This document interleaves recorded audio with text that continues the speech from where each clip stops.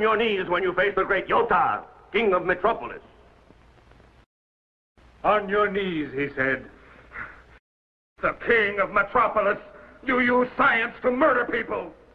I've seen an example with what you did to my brothers. On your knees. You can force me to bow down, but you're not able to prevent me from saying what I have come here to say to you. My mission is to warn you that you are doomed by the terrible power you possess. And now destroy me if you like, Yotar! Before you die, you will have bodily evidence of my power. No matter how much you torture me, you will suffer worse. Someday you will rule a city of the dead. You will reign over a wasteland. Your power is based on a criminal use of science. It will destroy you. You will die miserably. I will be destroyed. What can destroy me? Answer me that. No one is more powerful than I am. I have enslaved all the people on earth. I've made them tremble just as you will.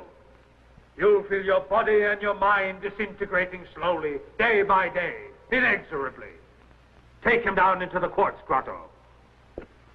You're a madman, Yotar. Now I have achieved my purpose in life. I have seen with my own eyes the marvels of your civilization. And I am sure that you yourself will be the one who destroys what you have accomplished with your horrible crimes. Mark my words, Yotar!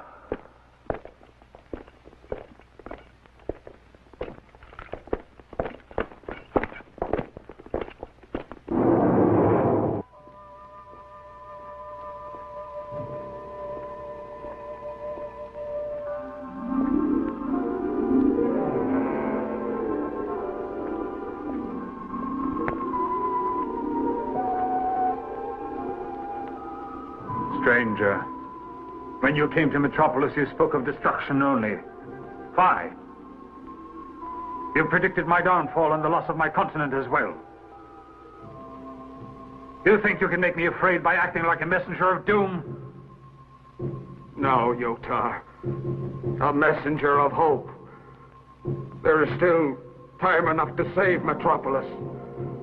But you are blinded by ambition and cruelty. You will pay with your life for those words. I will destroy you without mercy.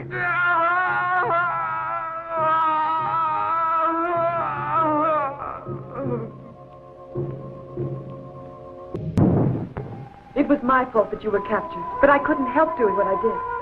I couldn't stand by and let you kill my own father. Don't say that, Mercedes. It's not the fault of anyone. Just try to be courageous. Be courageous. Because of you, yes. And it doesn't matter if Yotar puts us both to death. He won't have enough time. We will all be killed in the catastrophe. It'll happen any minute now. The course of every life is written in the skies, and we are in the hands of the superior being who guides the footsteps of man. Obro, no one has ever spoken to me of the superior being. You were the first to tell me. But if it was he who made me love you and you love me, I'm thankful. Perhaps before we are destroyed, Yotar will realize he has been mistaken. He's not evil. He's only blinded by science. We must forgive him, Mercedes.